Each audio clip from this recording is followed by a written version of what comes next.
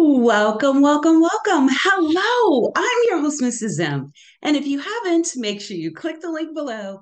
That way you can subscribe to my channel and not miss out on anything you need to scale your cleaning business to six figures and beyond.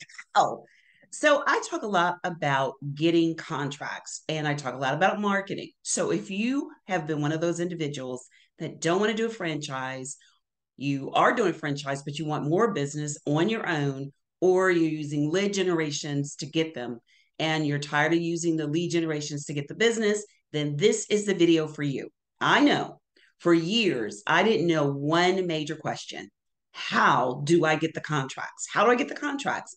That's the question I get a lot. So if you've wondered that, then I want you to stay tuned because I'm going to give you everything you need. I'm going to go into a great detail, sort of like a workshop to give you a lot of things that's going to get you on your way more than you thought you could be. You ready? Let's go. So I'm sharing my screen today and uh, let's look at what we are going to look at. And the very first thing we're looking at is we're talking about act. We're talking about what we need to do to act and how to be a timer for the action. So, A stands for attracting, how you're going to attract the customers. C stands for convert, converting them where they're ready to sign the contracts. And the T is going to be for retain because you don't want to constantly get people over and over. Now, I'm going to go into great deal with the first one, which is the telephone. So, I'm going to share my screen and I'm going to go into great detail with you on what you need to do to make sure that you are all ready for when you are setting your appointments for the telephone. So let's go. So we need to understand that we have to have a system set up for obtaining prospects in calling. I got more contracts in calling than what you would imagine. A lot of people think cold calls don't work. They absolutely do. It's all about how you make them work. So stay with me so we can go through some of the varied steps. I'm not going to take you through the whole thing, but I am going to take you through enough for when you get off of here. If you stay to the end, you will actually get this um, information. I'll make sure that it's available to you if you stay to the end for various information that's going to make it make a difference. So let's look at the first thing we need to do to set up a system. We need four things our list, a CAR system, which is basically like uh, constant contact, or you can use ConvertiKit, C O N V E R T K I T dot com. I love them. I love Convert. I love uh, Constant Contact, but they are not free. ConvertiKit is. So ConvertiKit is what you can use to build that relationship where you're going to uh, in the let and later on in the other lessons when we're talking about all the other things telephone in-person mail outs and emails you're going to need your cmr system. Equipment telephone and a mental attitude very important. Now you need five basic things to remember when you're doing sales. The cold calling the needs analysis, the follow up, the presenting, and the closing. Those are all five of the activities when it comes to it. Most salespeople feel that their greatest strength is in the presenting, but they have a thing about cold calling. Now, if you're the CEO of your company, which you probably are, you're the salesperson, you got that hat on, you're the admin, you have that hat on, and you've got the lead gen, you're all of those things. Today, we're going to concentrate on one piece because this one piece is important in order to even have the business to get to my favorite six figures and beyond. Wow. So, this is what we need to pay attention to. How you think about sales is everything. Now, this is the actual course that I go through when I'm doing consulting. And I'm wanting, I hear so many people say they cannot get any leads. So I want to give you something that can get you some leads. You can take these actionable steps right now today, well, tomorrow, because it's a little late in the day, but make sure you follow along. I'm going to tell you what you do if someone doesn't answer the phone, what you need to do if you have to leave a voicemail. All of that is going to be given to you rather quickly. Okay. So you first thing you've got to understand that you've got to get your mindset right. And you have to think about the approach, your voice when you're doing the cold calls, your tone, and your speed all play a big role in how the prospect is going to feel about you. Be in a location that you're not distracted. Now, a lot of us think of cold calling. We think of like sleazy salesmen, old, you know, what do we call them? Used car salesmen, all of that. But selling is one of the most be- best professional and one of the most, um, I guess you would say, inside of that industry, if you're a salesperson, a great salesperson, you can make more money than anything. I mean, other than being a CEO, salespeople rank the highest in their profession. So it's a very professional profession, and you can make lots of money if it's done correctly. So cold calling is not a dirty word. Cold calling is fill in the blank. People, salespeople are, and my prospects are. You got to get your mind right first. Now, let's look at our approach. We've got our mind right. We're ready. We're not going to take this personal. We're ready to dive in. The first thing is your voice. They have been studies that have shown that they like people to sound like they are. I'm kind of excitable. So if someone gets on the phone, hi, my name is probably going to turn me off. I've already checked out. So I'm an excitable person. I've got energy. So I like energy. So if you call me and I sound excited, sound excited. If I sound calm, sound calm. Your voice, your tone, and your speed has a lot to do with mimicking the person that's on the phone. Remember that. Mimic how they sound. The next thing you want to do is you want to make sure that you are positive and trust me, you can feel when someone sounds like they like what they're doing. Very important. The other thing is to remember there are very five very basic ingredients to a sale. The salesperson, the qualified prospect. You want to make sure there's someone you want to deal with to get to know them, a need and a want for what you're selling. Remember, there's the need and the want, the product or service, and the strategy, the selling strategy.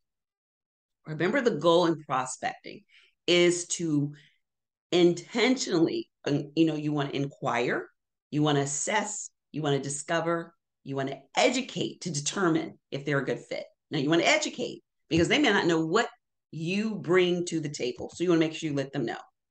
So now, once we understand the speed and the tone and our voice, we know that there are seven types of prospects. So which one are you? Are you the pusher? You know, are you more focused on the sale than anything? Are you pushy? And the pros are you're persistent and you're confident, but the cons are normally you get a lot of returns and cancellations. Or do you just shoot from the hip and you kind of make it up as you go? You have a lot of high energy, but you don't use the script. Not a good look. The pros are you're passionate and you have charm, but the cons, it's hard to, to really work with you because you have no system. Are you the type that's like hi and bye in 30 seconds? You're rushing through the call and you're trying to get out the script out before the person says no. Because people hate that that dreaded no. So, what are the pros? You're focused and organized. But the cons are the people usually can't even hear what you're saying. Then there's a person that just copies everything anyone says. They listen to this person, they listen to that person. They don't have their own way of doing it. They're not consistent and it's not authentic. You know, usually these people they they can improve they they're ready they because they seek improvement because they're looking at everyone and oh, i'm gonna use that person's style or that person's style or i looked at this or that it's got to fit you it's got to fit your personality and yeah i said if they're sounding excited you want to just increase your speed but you still want to you know if you're not a person that uses a lot of slang then don't use slang if you're a person that does you know of course we don't want to say anything that's going to throw the person off by being too much yourself because this is a professional setting, you do represent your business. But just think about the fact that this is the gateway to opening the doors to doing walkthroughs, to get contracts, to get money. Think about that every time. Have a card somewhere that shows the sign of the money you're going to get from doing this. Um, the con is they don't ever stick with anything long enough to see if it even works. So stick with something to see if it even works. The pleaser oh, I want to do everything you say. I want to make sure I'm going to overpromise and under deliver because I want to get the walkthrough. Their desire to serve is great, but they say anything to get the walkthrough, and that's not a good look. And then the educator is the master of their trade. They're professional, they rely on their vast knowledge, and they are impressive when they're trying to make the sale. The pro is they have great product knowledge in the janitorial, cleaning, you know, all of that, the industry, they know it, very professional, but they do not usually have much sale, you know, skills in actually selling as much as they do the product. So they can tell you all about the cleaning industry, but they really don't know how to close. And this is what you want to be. This is you. You want to be the advisor, the model for the prospects. This is what you want to be. This combines all of those together. All seven come into one. All of them. This is what you want to focus on. Now, remember this. Everyone's asking when you call them, what's in it for me? They want to know what's in it for them. So let's get to the number one thing. And I know you've heard this before. You want to talk about the feature and the benefit. The feature is you get a professional cleaning company. That's what you're thinking. The benefit is they get to outsource it. And then you want to talk about the bottom line very quickly. It increases their bottom line because they get to concentrate on their core business and you are cleaning for health, which allows for a healthy environment, saves money on their health plan. On their health plan. Now, I'm going to start thinking of money. Ching, ching, ching, ching. I'm going to start thinking of the fact that these people are saving me money. So I'm going to listen listening ears are on because now I'm going to have fewer employees that will become ill due to them having a cleaner environment, which is going to translate into money for me. That's a part of what's in it for them. Think about that. Also, you want to make sure that you include any testimonials or any measurable results in what you are talking about. Give them five compelling reasons why once you're going to do your walkthrough. Now, this is once you're doing your walkthrough. One thing I wanted to talk about because it goes on and on and on. So I want to make sure that I just finalize one thing. When you're doing the call, so let's say we are on the phone, we've got our phone right here, and we are getting ready to call. And we want to be very, very mindful. So when we're getting ready to do this and we're talking about it, you want to say, Hi, you know, hopefully you have if you which if you're here next week i'm going to do where you find the leads where you get their names so you're not like just pulling out the air but where you actually get their names so you you know you understand that you know you want to get to it so this is something you could say you could say you know hi thank you uh, mr john i'm sure you're busy so i'm gonna get right to it get to it hello my name is so and so. I'm calling for so and so. Thank you. remember, I said you want to have their name, but we're going to say, Thank you, Mr. John. I'm sure you're busy, so let's get right to it. I'm calling today because we specialize. This is where you need to have that differentiator. What do you specialize in? That's what you want to think about. And then you want to make sure you kind of get them involved in the conversation. And then the end goal is to make sure you set up the appointment and say, How does next Tuesday at three sound? Now, this was a high view, very high of things that we do, but we nail it down inside of the videos. If you go back, I've got scripts and everything for you through other videos. So make sure you look at the playlist that gives you all the videos on some other ways that you can close a sale. So I love, love, love sharing this with you. This has helped me tremendously. This was a quick overview. If you'd like to know more, look at some of my previous videos.